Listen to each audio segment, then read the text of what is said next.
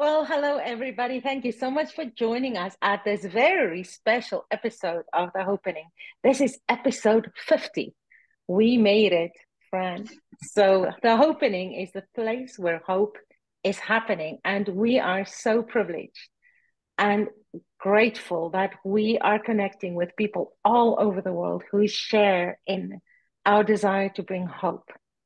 And Fran and I are both in the province of Alberta, Canada we both specialize in rapid transformational therapy. Fran is still teaching full time as well, and she's been a teacher for 34 years now. And I do rapid transformational therapy full time. So, Fran, I am giving you the floor to introduce our wonderful guest today. Thank you, Marina. And she truly is a wonderful guest. And she's a fellow Albertan. So, welcome, Karlyn Fischer. Thank you for Karlyn. having me. Nice oh, to be here. it's our pleasure. So, Karlyn is a neural optimization coach, taking over her new and innovative field.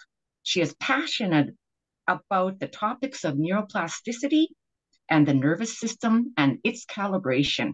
Her mission is to inspire highly motivated individuals by teaching them how to engineer their minds. These tools allowed her to overcome her autoimmune condition and transform her life. She speaks the language of overachievers. With a background in engineering, she doesn't shy away from the innovative conditions of the mind. She bridges the two worlds with a strong background in science and knowledge in holistic health. Welcome, Karlyn. It's so great to have you here. Well, I'm excited to be here. Thank you. Yeah. So we, um, I've listened to a bit of your background and I know a little bit about your history. So can you tell our viewers uh, a little bit more that you'd like to share about yourself and how how was it that you got into really it's a newly created field. I've never heard of neural optimization before. How did you get into it? I got into it actually because it was so new and it was because it was so underutilized but it's something that I use through my health journey because uh, when I was 19, I was sick with an autoimmune condition, and you kind of have like your ups and lows, and especially with school, depending on if you were like stressed with your course load or different things. And I was definitely like the overachiever driven person where sometimes like you definitely have blocks where it's like, oh, do I need that thing or do I not? But your mind's like, no, you need to do that because what would happen if you didn't get that thing or what would people think of that status or something like that. Like I was definitely that engineered type of person that was like, no, you cannot fail. So I, yeah, I kind of went through my highs and lows of that. And I got so sick of actually trying to let other people fix me that I just started taking my own courses and empowering myself to do it in my own hands.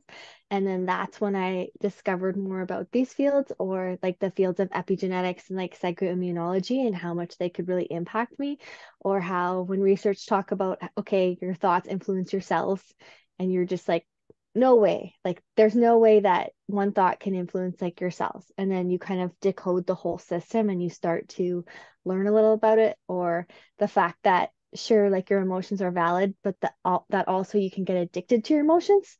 So there's certain times when you do go through something but there's certain times when you're like hey i cannot be addicted to this. This cannot be my reality.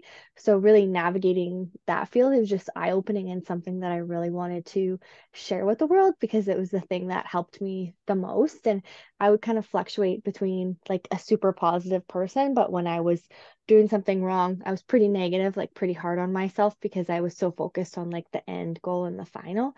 So it was one of those things where if I don't know this, imagine how many other people don't know mm-hmm. this. And it's the whole science field. So if we can break it down for them, imagine what they can do with it. Mm-hmm. Yeah. So you talk about neuroplasticity. Um, can you explain to our viewer, viewers what is neuroplasticity and why is it so impactful on human health like what what is this all about karlyn so the way i view neuroplasticity is if you look at a hiking trail or any sort of path that you've that's been well marked that you're walking down And when you walk down this little hiking trail or path, I'm sure with your group, you've noticed that there's a little path that's not really marked that someone might take a couple steps down and they might assume that that's the trail. And then someone in the group will backtrack and say, Hey, wrong way. You weren't paying attention. And then that person will slowly make their way back to that grove. If you imagine your mind and if you had a path between, I always do this, but do I want to do this one?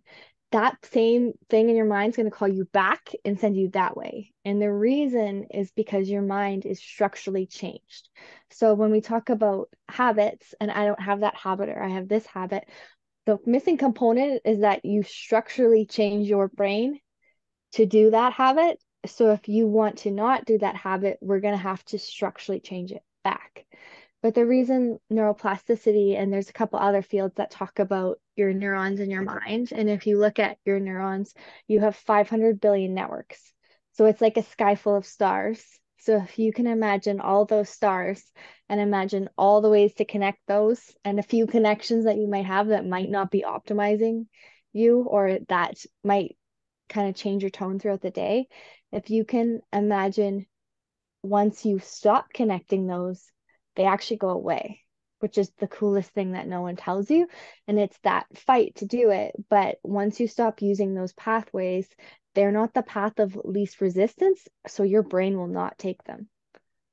That's amazing. It it reminds me a lot of the kind of work that Fran and I do because we we work a lot on changing habits and and we we give people a recording to kind of help them to guide them through those new neural pathways. So, how would you help an overachiever? I know you target them specifically. And tell us a little bit how you can help them.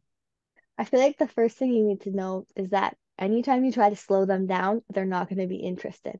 So you have to first market it in a way that they're or target them to be like, hey, this will speed you up, but you have to give them a little bit of the why because especially like if you are like okay if you take a break all they see is a break.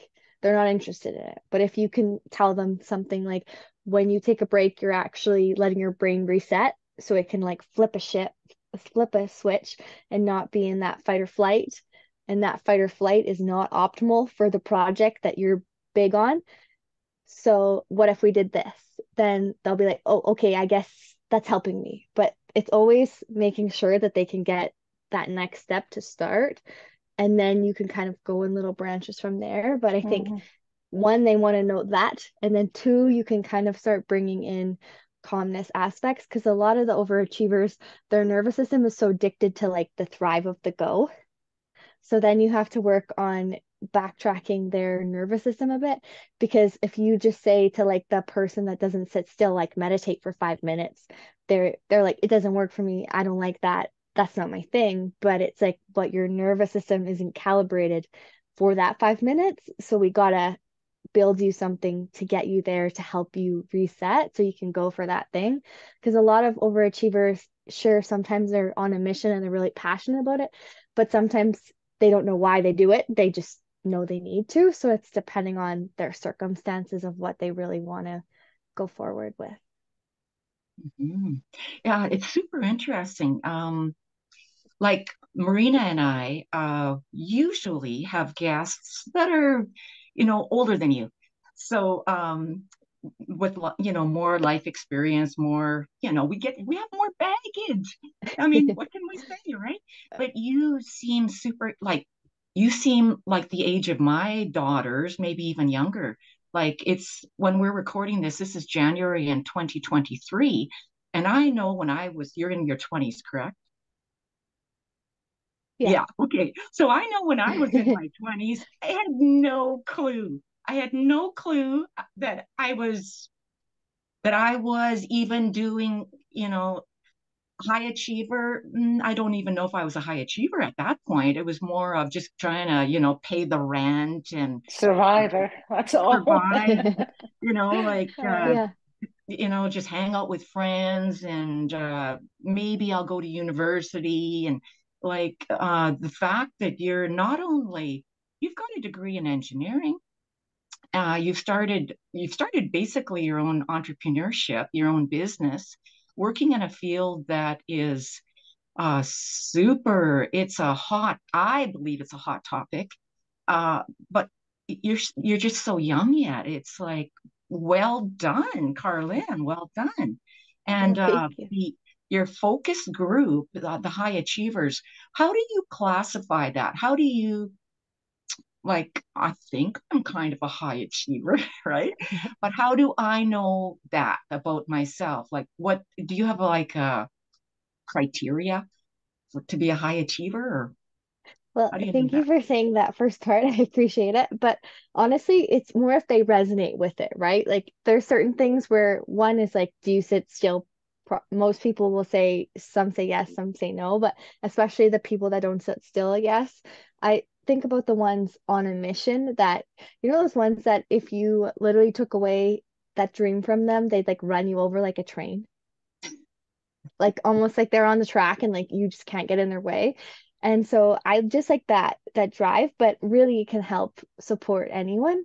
But I just see if it resonates with them as an overach like if I say overachiever or that dr drive, if they're like, oh, I think that's me, then then I'm like, okay, this will help you. But if they're like, oh no, I'm not that interested or invested, because some people are still, I don't really care, right? Like about they're like, that's cool you told me that. I know I'm doing stuff wrong, but I don't care. Right? Where some people are like, whatever that is, I don't care, but I need it for this next thing. Those are kind of the people that uh, they're fun because they don't care. They're just so open to that next thing because it's like, okay, I don't know, but I need that. And then the next thing they're like, I don't know, but I need that because they're so goal orientated that they'll pick up any pieces and not the ones that are like scattered but very centralized, right? There's like the type of person like you, like I said with the train that would literally run you over if you stood on that track. You just would want to get out of their way. So, Karlyn, mm-hmm. before you got sick with an autoimmune disease and before you got into this field specifically, was that you?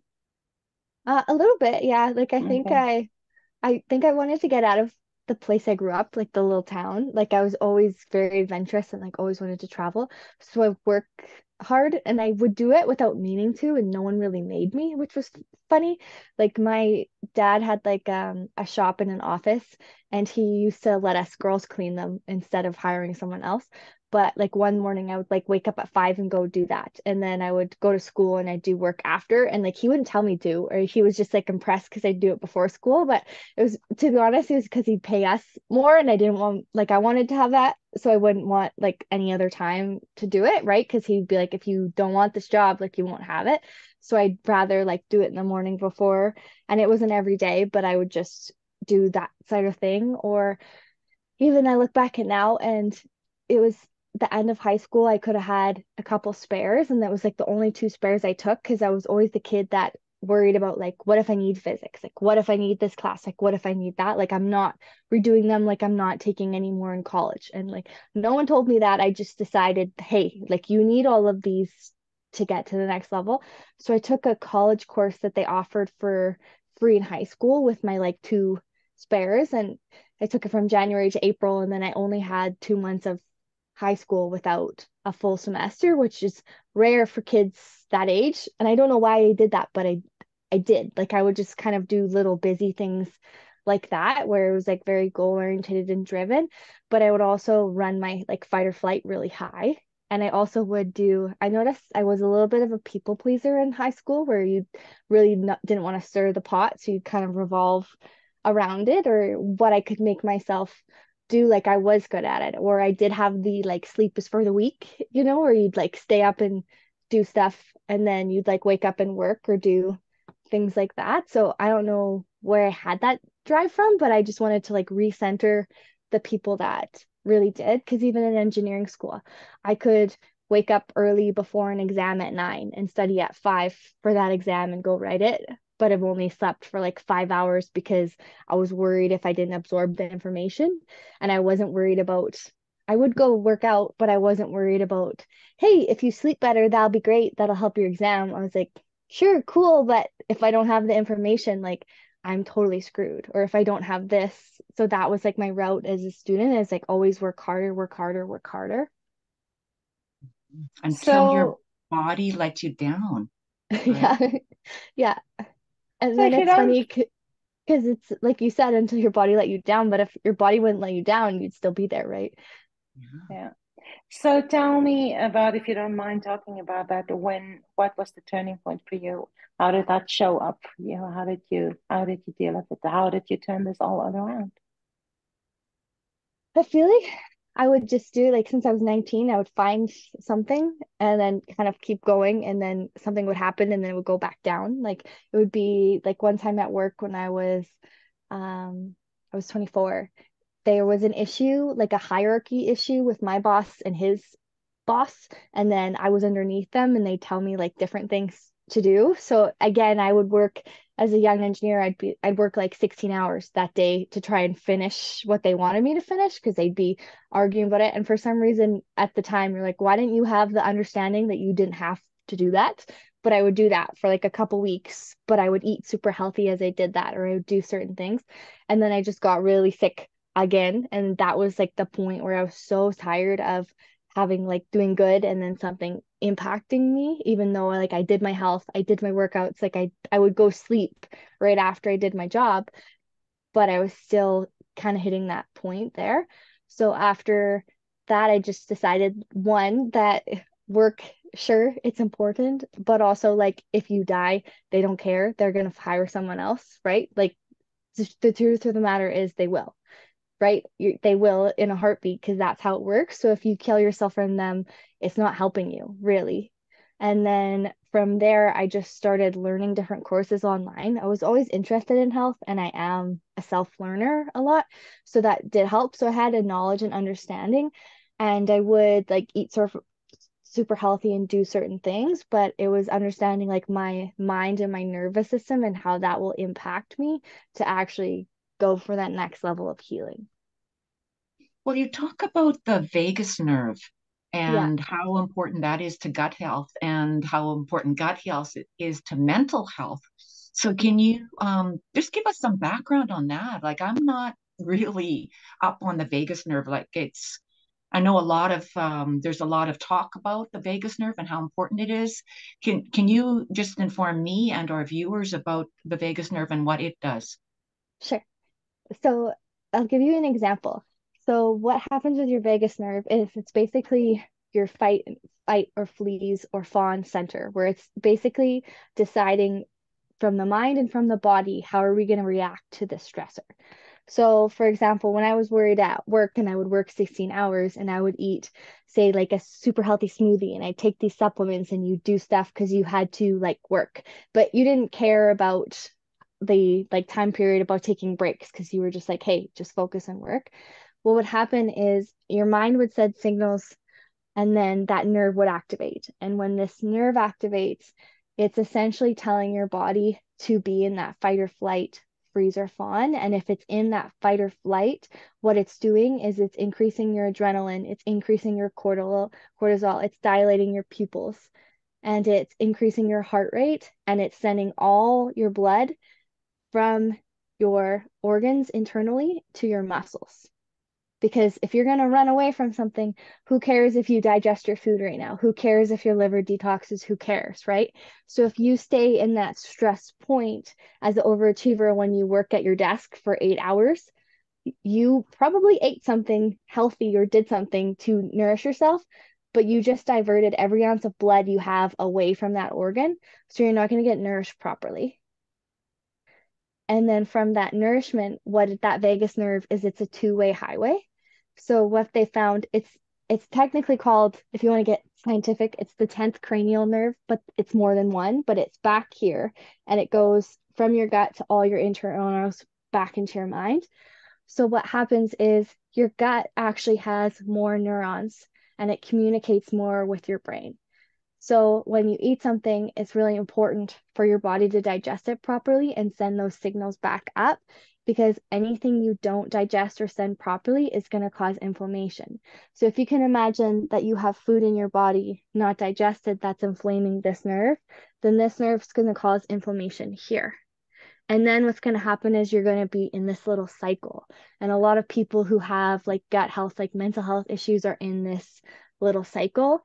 And they've proven that you're not what you digest. You are what you digest and assimilate. Because if you eat all this healthy food, but your body can't actually break it down, it's inflaming it. So a lot of people with mental health will have gut health and they won't know and they'll just be in this little loop where they're stressed about something and then it sends signals through that nerve to their gut and then their gut will be stressed because it doesn't have any blood flow to digest and then that will be inflamed and then that will go back through that little nerve through that two-way highway to inflame the brain and then the brain will further be stressed so it'll just keep going. And then you can imagine like as you keep doing that in an infinite loop you're draining your energy reserve. And as you keep draining your energy reserve then you're not going to be optimal and you're not going to probably get that goal or that thing you want most that's fascinating really. Uh that is incredible really because when you when you look at um say engineering or doctors or you know most professionals but also entrepreneurs as well uh, it's the go go go do it uh, you know it, it, we're so driven we're so driven to achieve more and i think the achievement itself is uh, a dopamine hit right?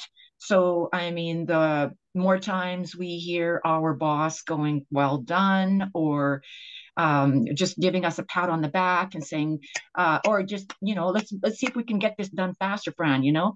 Um, it's it's putting us in that stress mode where really it doesn't matter that we're working out and that we're eating healthy um, it, it's just like you said it's just not it's not doing our body any good yeah which, and it's like slow down to speed up. Like one of my coaches, like health coaches for healing, she had this little poem. I can't remember where it's from, but it was like um slow is steady, steady is smooth, smooth is fast. Because sometimes you're just like fast is fast, but it's like no, slow is steady, steady is smooth, smooth is fast. Because if you take that and if you take like your prefrontal cortex and your limbic brain, then that's a whole other topic. Because with neuroplasticity you're training that one to be alive right? Like you're training your fight or flight to mm-hmm. thrive.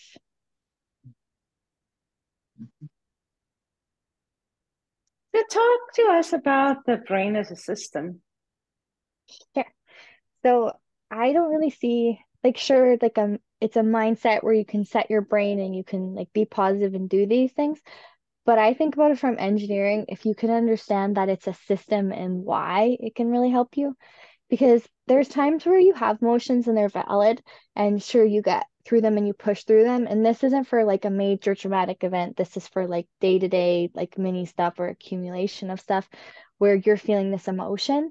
And they even have research on how long you need to feel it to process it, right? So it doesn't impact your body, which is like 30, um, 90 seconds to five minutes is what the research varies between. But what happens is sometimes we stay in that entire state and then we stay in it for hours and hours. And then that puts a response through our nerve, the vagus nerve, and keeps going through our body and makes a loop. And then the system is enhanced with our emotional response, our neuroplasticity, our fight or flight centers, which we activate, and then also how our nerve responds because essentially what happens with our system is sure we react to an external event but what can also happen is our nervous system is actually calibrated to look for external events. So they talk about your reticular activation center which is in your mind. So if you have that set and for viewers that's like if you're looking and you drive a white Ford Escape and you just got it and now you see them everywhere and you're like, "Oh, look at my car. It's so great. I see it everywhere." But you kind of act like it didn't exist before. It does. And there's a part of your brain that will look for things and it'll even if you want to try the exercise of look around the room and everything that you see is red, make a note of it. And then if you close your eyes and look for the blue, you probably won't see the blue and this is where that starts because that blue oftentimes is the thing that can get you better. That blue is like your goal or a way out of the thing that you're stuck in. It's like your way out, but you're so focused on the problem that you can't see it. And the problem starts with your focus of you consciously not seeing it, of your consciousness level. And then from that consciousness level, you usually have emotional response. And then that emotional response can send your brain into that fight or flight, which triggers that nerve. And from that nerve, your body reacts and then surfaces more to your brain. And then also, when you react your body through emotions, what you're actually doing is you're draining it, right? Like if you feel tired, you can tell by your nerve, like how you're exhausted from overthinking that. Or when you run your cortisol and adrenaline to the roof, when you made up a scenario in your mind about what's going to happen, you're running that cortisol and adrenaline through the roof. So you're going to be tired more. So then your brain's going to respond more tired. And it's just going to be this little system that loops and loops unless you understand how and why that system works then you can interrupt it and maybe you can logify yourself because there's times where sure you can be mad and someone says be more positive. Like come on you know and you're you're kind of like leave me alone right? But if you're kind of like oh yeah okay i know why this does this and it might not be like you go from here to here but it might be okay i'm going to fight this or sometimes we look at like someone who has like a very negative headspace what they don't tell you is that if you if you stay in that you're building pathways that direction and it's going to be easier and easier and easier for you to be more negative. And there's a time and a place to like tell that person when they can hear it but it's also like helping them maneuver it so they know because i feel like sometimes when you say hey this sucks where i am but if you don't tell them that it could get worse if you if you keep doing that then they won't fight it because they don't see that it's easier when you build pathways over here, right? They know that happiness is there or like this optimal world is there, but they don't think they can have it because they have so many paths running this direction. But if you can lay it out for them like a system and say, hey, like you breathe the same air as everybody else, like your body follows the same system. So, like, we can get you there. We might have to remove like interferences or traumas along the way, but just so you know, this is how this works. So when you're in between these two zones, we'll we'll keep going, right? Where it's like you can see like a concrete result instead of you just being like, it's a me problem. Everyone else can do this, but me can't. Mm-hmm. And awareness as well, right? Unless we're aware of our thinking, it, unless we can stay, take a step back and go, why am I thinking the worst? Again or why am i thinking that when when nobody else is thinking that? Um like so many uh, instances come to mind. Um the, the negativity thing is super important right? Especially like marina and i have talked about this before. Uh some people will look at the world and say oh my god it's terrible out there uh, there's this and this and this and this and this that's happening. And then somebody like Marina and I, and probably you too, Karlyn, when we look at the world, we don't see that. We look at the possibilities and all the, I mean, you know, we are surrounded, we surround ourselves with people who are healers, people who are looking at the world in a positive way and saying, hey, we're going to, we are going to make a difference in the world and we will we are here to make it a better place not talk about the negative stuff but talk about the good stuff. So you you talk a lot about how the brain is like a computer. Um, you're in the field of engineering uh, or you were uh, and basically science is your you know science is your uh, superpower probably. Um, how do you liken the the brain to like a computer so the reason I like this analogy was actually in computer class. I learned a little bit about the system and the system your computer follows, like original computers, all they were created with was from a zero and a one, a zero and a one, a zero and a one. So if you look at even at, at Excel, if anyone uses Excel, if you ever use the if else, if else, right, right, basically saying like A or B. And what the way I look at the brain too is sometimes you make such like a judgment around it and you're like, oh, it's me, I'm terrible. Like, oh, I did this. And it's like, okay, just like neutralize it. At one point in your life, in time or space, you decided to react this way in probably in order to protect yourself. And then you've just been reinforcing that. So if we look at it from a neutral, your mind is like a computer program where it's either choosing a zero or a one. And it chose a one and you didn't want it to, and it chose a couple more ones, but we can like pull you back from those and get it that direction. But if you look at it like a code, it's less judgmental because a lot of us are very judgmental around like i do this i do this or like you said with the awareness like the worst part is when people are aware and they're like okay great i'm shutting down but it's like no no no no. Like just neutralize it because if you see it as a system as a code you can program it. And if you look at technology or if you look at social media social media what they have is an attention engineer. Have you heard about an attention engineer at all so one yes one no. So yeah. your attention engineer is basically the coder or the engineer and the psychologist behind the screen giving you everything like feeding all your neurotransmitters like your dopamine your serotonin to make you stay on this. But if yeah. you look at if they can code me to stay on my phone and click this little buttons what could i code me to do if i'm aware? Okay you need to repeat this again. It's like clickbait. It's like clickbait so it's is programmed. it like an on the algorithm that's following you to decide what this person is the interested algorithm. in. Yeah, yeah oh, your yeah, algorithm. Okay. Like, yeah. have you seen the social dilemma?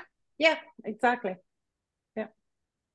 So oh, it's good. You need to watch that. yeah, you need to watch it. But it's like a Netflix show, and it shows you like if you look at your phone screen and you held it up, and then if you looked at the code or the program behind it, somebody built that. Somebody engineered that based on your algorithm to be like, oh, she likes puppies. So I'll send you all the puppies. Or right. sometimes what happens in the mental health space is everyone will follow someone that make them feel good for like two seconds. And then they follow like 10 or 12 of them, or they'll follow someone that validates them that they get to stay where they are, right? It'll be like a meme about this, a joke about this, like, haha, we're okay, we're kind of messed up in this little space, right? But that's what you're seeing. So that's like your consciousness level, right? It's the same as like if you go to talk to like your same friend group and they talk about the same stuff, like they're programming you that direction. Mm-hmm. So the psychologist slash attention engineer slash programmer behind this computer is essentially coding you with the computer yeah. based on your brain's neurotransmitters and functions to do whatever they want. To make sure you stay and to manipulate you. Yeah. And a lot of times it involves advertisement to pay you certain things. And um, I can give you some examples. Um, we want to book a flight somewhere overseas. So we go on Google and you search the flights. And the next moment you open Facebook, there are all these ads for flights from, say, Calgary to Cape Town. How, how did Facebook know? It's clickbait. Same thing. It's engineered yeah. that way. Yeah. They follow you to a T. Yeah. yeah. And even like the social media, like if you haven't been on in three days, they'll be like, what is most likely right. for her to stay if we put this first? So if they put something you're least interested in first, then you'll have the ability to get off. But mm-hmm. if they are like, we haven't seen her in three days, how do we get her back cooked? They're like, oh, let's pick this number one thing. And if you look at everyone's different followings online, like you said, like we're healers, like we follow people that want to make an impact. Who do you follow? But who do these people over here probably mm-hmm. follow, which they're probably reinforcing, right? And it's probably like the can't stories of why they can't have that or why they are where they are. Mm-hmm. Mm, that is super interesting. Yep. Now I now I understand. Um, so in your field and what you're doing right now, how are you you're are you what what groups of people are you working with right now? Like I'm not sure if you're still doing engineering. Uh no, so I speak to different engineers, but I don't actually do um engineering on the side. I do like the neuro optimization slash mind sculpting. So I do a lot of different groups. Um, I've done couple like health programs. I've done some with engineering. I've done some with athletes. Um, I'm working on a couple with like real estate agents and just different firms and businesses that really want to optimize their workers.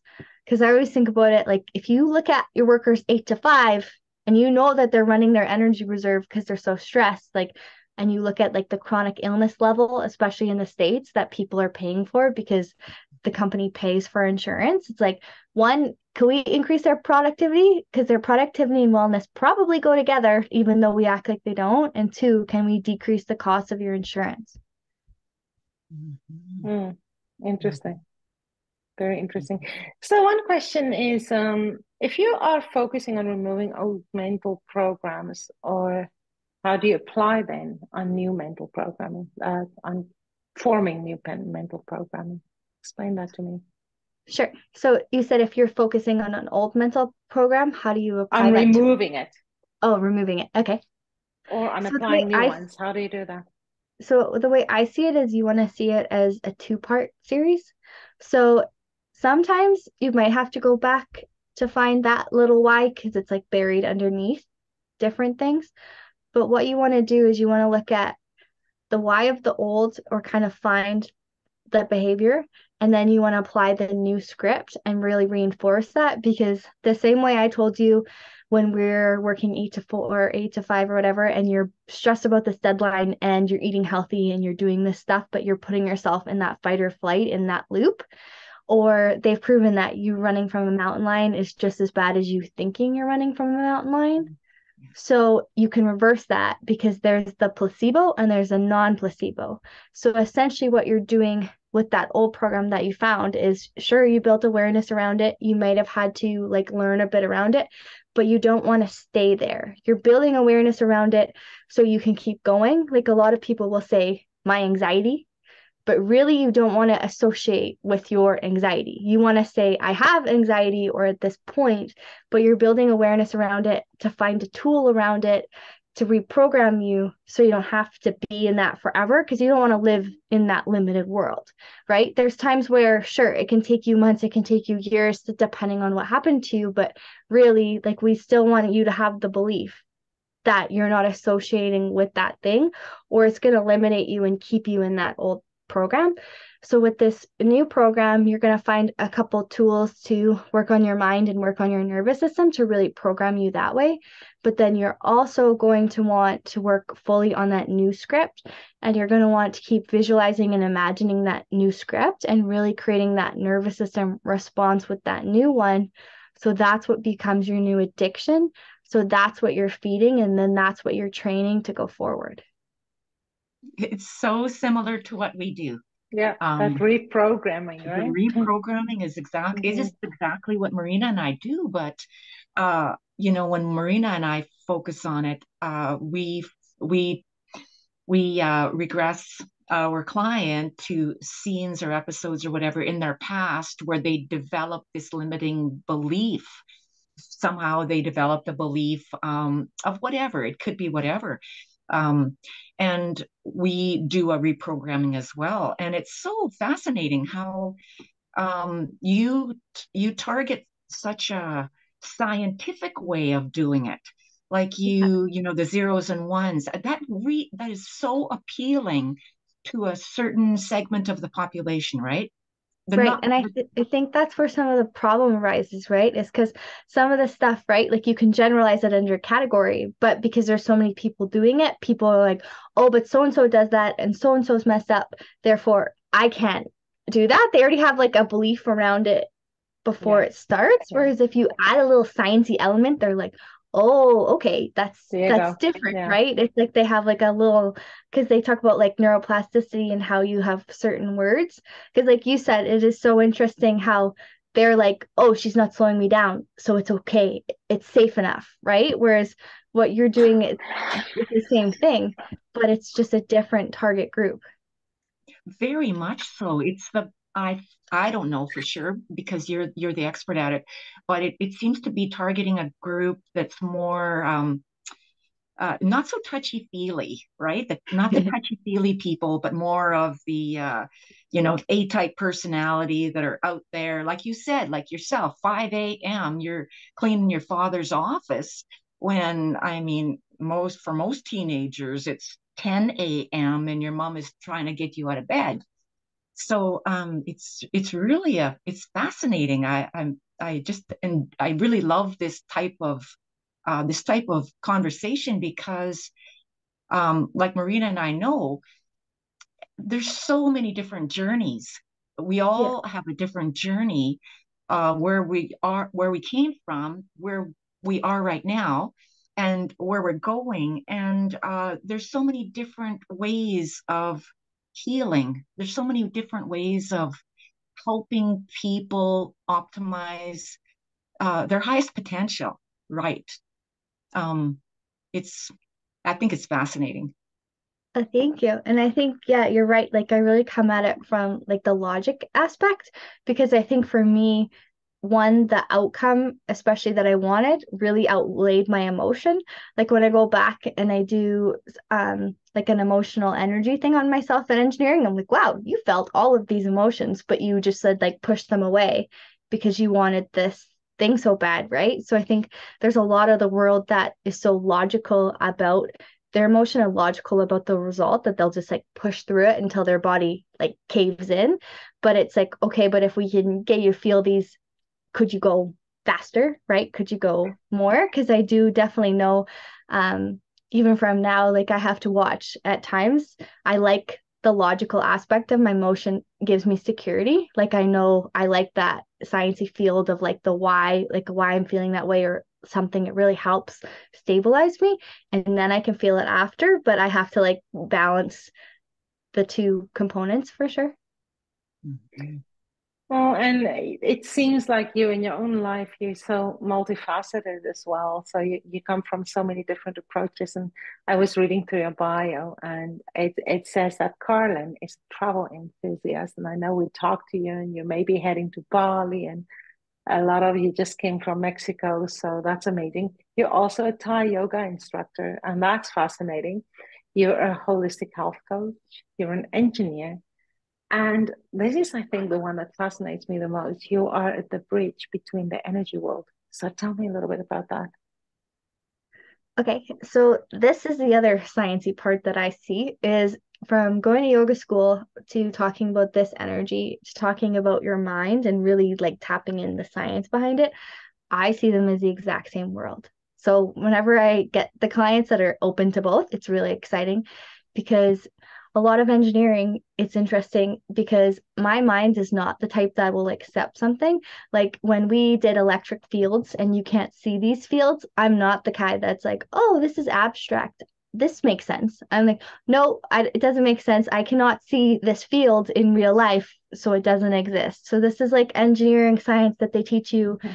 your typical university where i was not accepting it. I would not I look through my textbook and be like, okay, I guess I have to do this for this class. But to me, that was out there and I didn't see it at first. And then, funny enough, I went to yoga school and I'd learn about these chakras and I'd learn about energy fields and I'd learn about this system. And then this made sense with this. And as you kind of start to bridge, it's like a little cliff on both sides where someone's on one, someone's on the other but there's little things that you start to realize that utilize both. Like, for example, your phone has quartz in it, which are crystals, but it just has a little enough to use, but nobody knows that.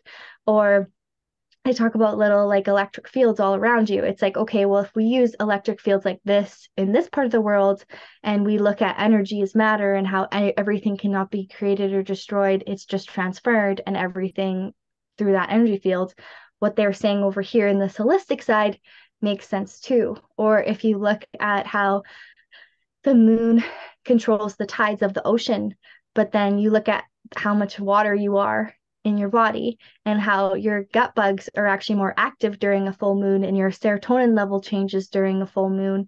So when you do like these gut cleanses, you have to watch the moon because of that. Whereas if you look at these like natural little energies that you don't realize, they're actually the same, but it's bridging them together. And if you've ever done neurofeedback, a lot of what they look at with your mind is it's interesting at a hospital how you see a brainwave on the chart and you just like accept you don't know what it is but it's just fine they're measuring it but with neurofeedback they're looking at similar things and they're looking at your mind like its own electric field and it's heart like an electric field. And if you look at interesting enough why can you jumpstart a car? But then with defibrillators in emergency you can also jumpstart a heart. Like why can you do that if there's like why can you use an electric machine to make an electric current through the heart to pulse it and keep going if it doesn't have some sort of electrical component of it. So a lot of the times they'll talk about your thoughts and how your mind is a field, and then they'll look even at your nervous system and how you are what you attract and how you kind of admit that out and you keep going. And in engineering school, again, I wasn't accepting this, but we did studies on the law of attraction where you put two different strings and you have to do the math and you'd have to do like sine cos, like blah, blah, blah, this formula and this formula, and have to explain why when one vibrated at that frequency, why the other one would naturally follow it. And you had whole fields on it, but essentially the law of attraction that they talk about in the holistic world is the same that they utilize in engineering. They're just talking in different terminology and utilizing it for different things.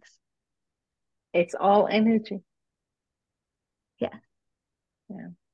No, this is absolutely fascinating. And I am so impressed with all your accomplishments and your absolute intelligence and how you utilize it at such a young age, changing the world and just educating people, helping people heal. It's just absolutely fascinating. So, Karlyn, how can our audience get hold of you? Well, thank you so much for saying that. Um, they can get a hold of me through my website or I'm most active on LinkedIn, but I use um, a couple platforms like YouTube and Insta but I have boundaries on them when I only actually answer once a week. So a good way is to access my website that I can give you guys if they have any questions or comments. Okay, please go ahead. Tell us what your yeah. website is. Sure. It's uh, www.animology.live. And then I have a new one that will launch probably by the 15th, and it's www.karlynfischer at kajabi.com. Excellent. So animology, A N I M O L O G Y dot live L I V E and then Karlyn Fischer at K A R L Y N F I S C H E R at kajabi.com. So thank you so much for being here, Karlyn. It's been fascinating. And we will be watching you and we will be following you and I'm looking forward to seeing more of you. Karlyn, you also have a YouTube channel, right? Yes. Yeah, because um, I've subscribed oh, and oh, uh, I love your little, you know, I think they're three minute segments or they're short and fast, but they're super interesting. I, I love, I love watching it. Oh, mm-hmm. thank you. Yeah, they're fun to make. Yeah. Okay, so, and thank you so much for having me. It's been great it chatting with you both. And me yeah, and thanks for finding me on LinkedIn because it was really nice meeting you both and visiting. Yeah, it sure is. And uh, good luck with your future. And if you do go to Bali, um, if you're in Bali, wherever you're going, uh, you're gonna just do so much good in the world. I just have this. Mm-hmm. I have such a good feeling. Well, thank you. I appreciate it. Mm-hmm. Amazing. Okay. Thank you so much, Karlyn. Thank, Thank you. you, everybody. Remember to subscribe, and we will see you next time. Take care. Bye.